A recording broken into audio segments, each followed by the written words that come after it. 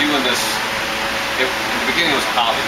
Now it's like something that's serious. You know, something we can't have this like juvenile BS that you know where you don't really communicate. You know, but it's taken a long time to get there.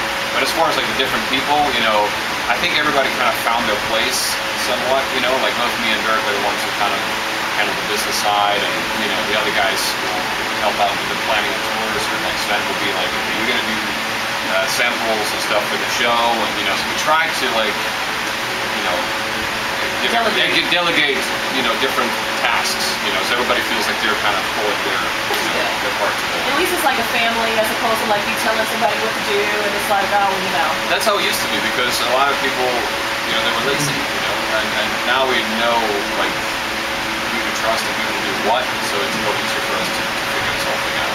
And it with the years. It does, it really does, you know, and, and, and I was younger and I was hot-headed and I wanted to do everything myself. So, uh, because every time someone else did it, it, it didn't end up being perfect, you know. So I, I know both of you there are control freaks, which sometimes can irritate some other people. You know, as far as like different personalities, you know,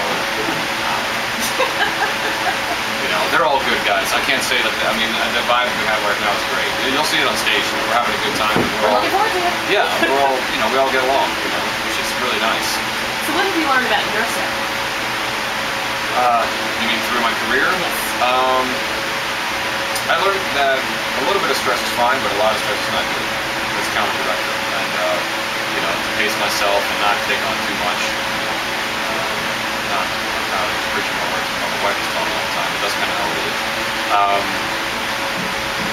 I've learned that you know, I mean, it's like you learn your limits. You know, like sometimes you take on too much work, but that's just how it is. You know, and uh, um, I feel like I'm pretty, I'm very diplomatic, and I, you know, I treat people with respect. It doesn't matter if it's people that you know, you know, I'm, I, I'm always thankful. I've always, you know, it's the thing. Like I, I meet other people that have had success, and they're just like up in the clouds, and they won't even recognize the family. When they come up to like they want something signed. It's a shame. It's a real shame because I'm like, you know what? Okay, maybe this person alone is not contributing to you, you know, being able to make money, but you have to look at it as a big picture. Like, you know, these kids are out here, or you know, like anybody that buys your record, it's like supporting what you're doing. You know, like there's people that would kill to be in your position. So I think I've learned to be grateful for the small things. You know what I'm saying? Like that's that's just kind of how I how I look at it now, as opposed to when I was younger, saying, "Oh, we need to get this, we need to get this.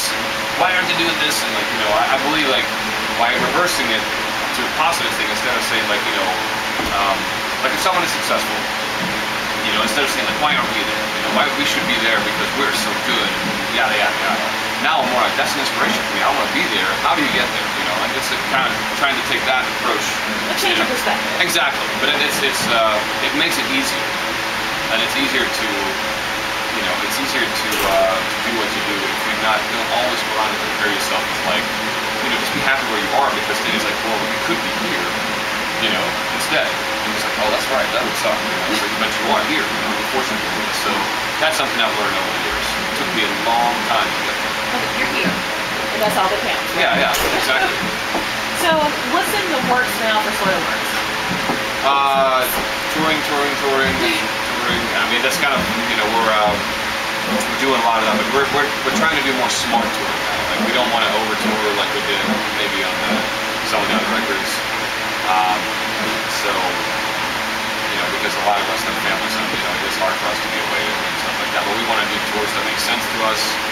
We want to make sure that we look good. Like we have a light guy on this tour. You know, we just want to make sure that the people get you know when they come to Soilwork Show, they get something more than just like the band that comes up there and you know plays through the songs and go on stage. You know, we want people to have a good time, and you know it's important. You know, go to the show, I want to see them like put on a good show. That's And some chemistry. Yeah, exactly. Chemistry. You know, showing that people that you're having fun. You know.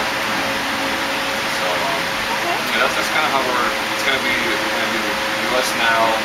Then we'll have some time off. We're gonna do Australia. And then after Australia, we're going to Europe with uh, All That Remains. Nice.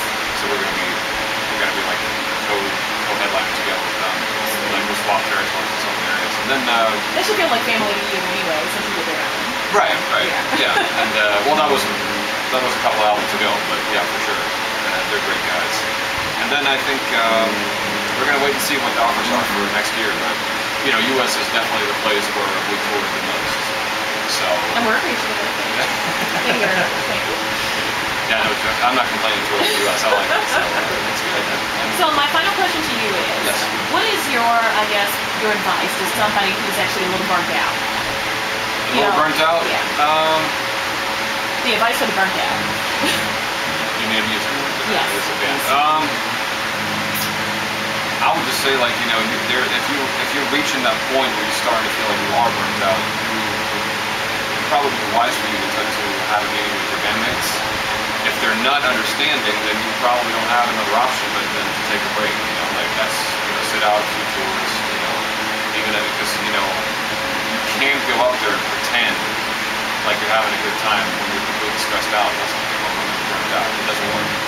It's the same thing as working an office job. You know, you take on too much work and you just you hit the wall. You know, and when you hit the wall, you know what happens. It's basically you can't even lift a pen for like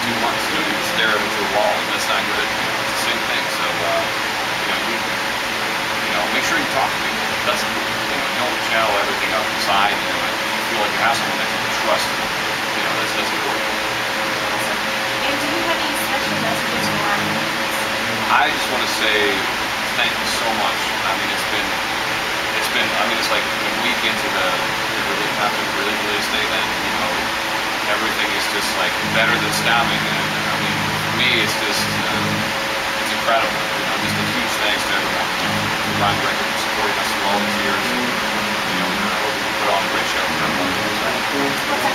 Oh, what's